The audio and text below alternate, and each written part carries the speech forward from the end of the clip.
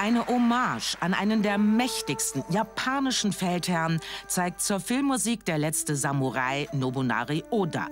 Der WM6. von 2011 ist nämlich ein Nachfahre des legendären Nabunaga Oda, der vor rund 500 Jahren lebte.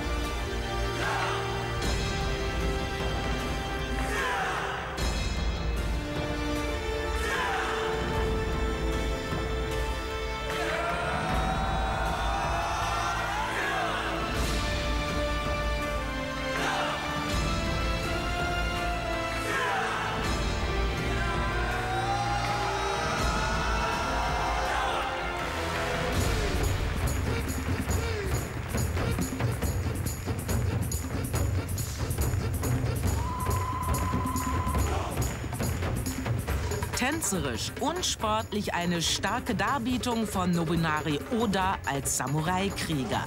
Angreifen will der zweifache Vater vor allem seine Teamkollegen. Der Kampf um die Olympiatickets unter den Nippon-Läufern nämlich extrem hart. Die Japaner haben derzeit gleich mehrere Weltklasse-Kufenkünstler und so wird jeder Auftritt genutzt, um auf sich aufmerksam zu machen. Dieser gerade sehr gelungen.